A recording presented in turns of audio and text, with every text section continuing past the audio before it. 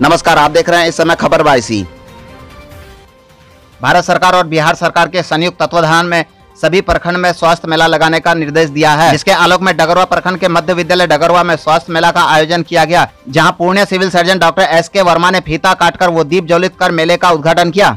वहीं इस मेले में प्रखंड और आसपास के हज़ारों लोगों की भीड़ देखने को मिली। इसमें कई प्रकार की बीमारियों की जाँच हुई। कोविड जाँच टीकाकरण के साथ टेलीमेडिसिन की सेवाएँ भी उपलब्ध हुई।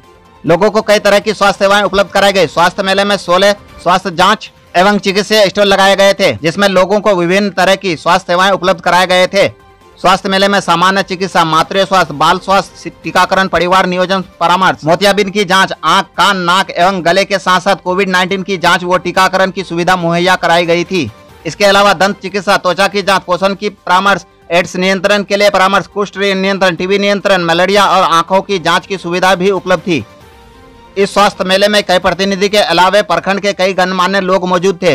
वह civil surgeon Purnia doctor S K Verma ने बताया कि मेले के माध्यम से अधिक से अधिक लोगों को लाभान्वित करने का लक्ष्य रखा गया है। इस मेले में ग्रामीण क्षेत्र के सैकड़ों लोगों ने भाग लिया तथा लोगों की निःशुल्क स्वास्थ्य जाँच की गई। उन्होंने आगे जानकारी देते हुए बताया कि ये मेला भारत सरकार और बिहार सरकार के संयुक्त तत्वाधान में हर प्रखंड में लगाने का निर्देश दिया गया है।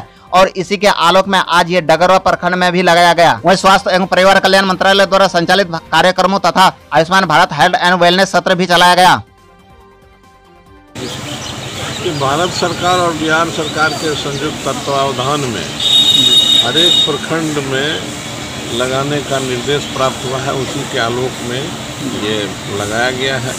इसमें जनता को सभी जितने भी यूनिट्स हैं हमारे स्वास्थ्य के। संबंध में लोगों को अवेयरनेस प्रोग्राम भी है।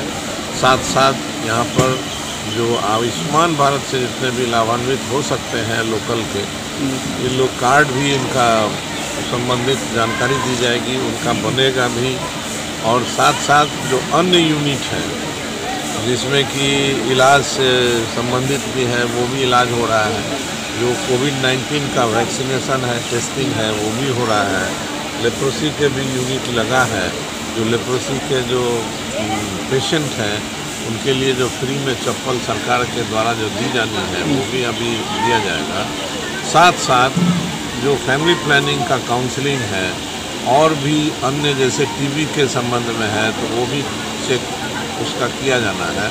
इसमें महिला डॉक्टर और चिकित्सक सभी आए हुए हैं, और भारत सरकार और बिहार सरकार का ये अभूतपूर्व कदम है और आयुष्मान कार्ड के तरफ़ सरकार का कदम बढ़ना और बढ़वाना ये अपने आप में बहुत सराहनीय है कि हर एक गरीब से गरीब जनता के लिए सरकार इतना चिंतित है और ये कदम उठा रही है। ये अपने आप में बहुत अभूतपूर्व कदम कहाँ कहाँ ये कार्यक्रम चलाया जा रहा है? ये पूरे पूर्णिया ज़िले के जितने भी चौदह प्राथमिक स्वास्थ्य केंद्र हैं वो तो हो ही रहा है और अड़तीसों जिला में। इसके बाद आपका आगे का कार्यक्रम क्या रहता है? यहाँ पे दिन भर जो है ये चले। कार्ड बनने की जो प्रक्रिया है ये चालू रहेगी। केवल एक दिन का नहीं है ये चालू रहेगा सर पहले भी आयुष्मान कार्ड बना था जो अभी तक बहुत बीमारी का इलाज नहीं हो रहा। सर उसको प्राइवेट में दिखाना पड़ता। सर कार्ड बनने से क्या फ़ायदा उसमें मिलेगा सर?